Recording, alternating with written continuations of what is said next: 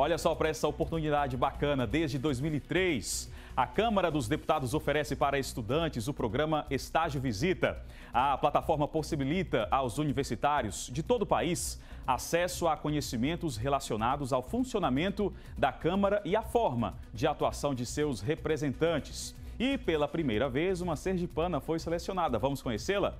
Joga aí.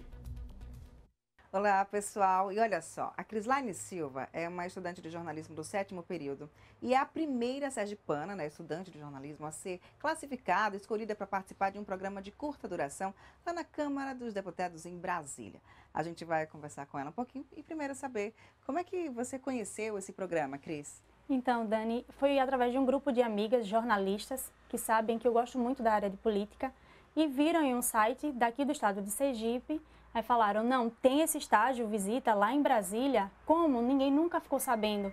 Então a gente descobriu, né? E eu fui procurar saber como que fazia a inscrição para poder tentar, quem sabe, ir e representar Sergipe, porque são até 70 alunos do Brasil todo.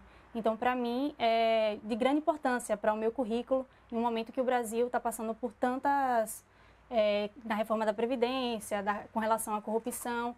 Então, é muito importante para mim, como estudante de jornalismo, entender e estudar um pouco mais da vida do parlamentar. Agora, Cris, conta pra gente como é que funciona assim o processo de seleção. No site mesmo da Câmara dos Deputados, eles fazem toda a inscrição, mas cada deputado federal ele tem direito a levar dois estagiários por semestre. Então, esse é um, um estágio que acontece semestre, é, por semestre.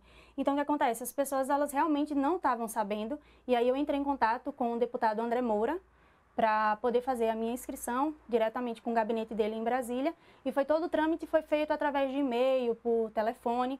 E aí eu consegui fazer a minha inscrição também pela Universidade de Tiradentes, que tem que pegar testado de matrícula, média, entre outras coisas, para poder conseguir entrar para fazer a inscrição, para depois, somente depois, ser selecionada. Agora, Cris, eu quero saber, como é que está sendo assim esse momento estudante, essa troca, como é que está esse coração? Então, realmente eu estou estudando mais para poder saber, porque não adianta eu chegar lá e de repente não saber o que se trata uma reforma, não saber o que se trata uma corrupção.